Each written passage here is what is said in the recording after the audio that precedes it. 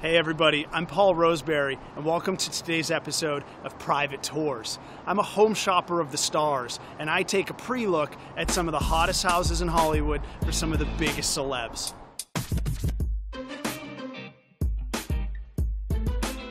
This is one of the oldest houses in Hollywood. It's listed on the paper as having been built in 1932. I've heard local rumor it was actually built in 1895. Let's go in and check it out, see if it's a good fit. It's a perfect day. You can see the skyline. Now, this kitchen is a little older than you're used to, which is awesome, okay? When I say older, this house, I bet someone used to churn butter in here. Even though this is a $3 million Hollywood home, dude, I'm from New Hampshire, okay? Like, I like a little bit of down home feel. This place has it. You can't replicate this in Hollywood. My aura feels all zenned out. Know if that's what you said. Cool bedroom. Check this out.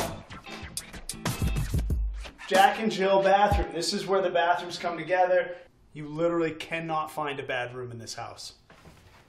I'm telling you, I know three people who will break their zen and fight each other for this room. All right, I don't even know if I have it in me, but we're gonna try and do a downward dog. These people wanna know I live the live. For three million bucks, you can see the ocean and downtown from one view. Come on, man. Plus you can get a tan. So imagine you come out here, you've been shooting all day long on the set, and whoa, you just want to relax, put your feet up? Yeah, you can clearly put your feet up at this house. I still get some view. All right, so hire your gardeners and keep them close. We have so much green to this house. We have a yard, a real yard, because I just need to relax for a minute. Oh, this is zoned for a pool. What are you gonna send them to a hotel? No, check this out. They don't sleep on your couch. They get their own downstairs apartment. Hey, what's for breakfast? Check it out. Would you fancy a tea? But I do have some Brits who are all about a cool little nook where they can have their tea and hang out for a minute during the day.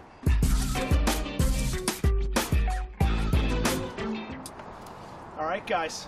So that's how it works. We take a look at a house like this, 6235 Primrose. We see the highlights. I definitely have two to three clients ready right now. I'm gonna hop on the phone, set some more private one-on-ones with them for this week. This house will be sold before you even see this episode.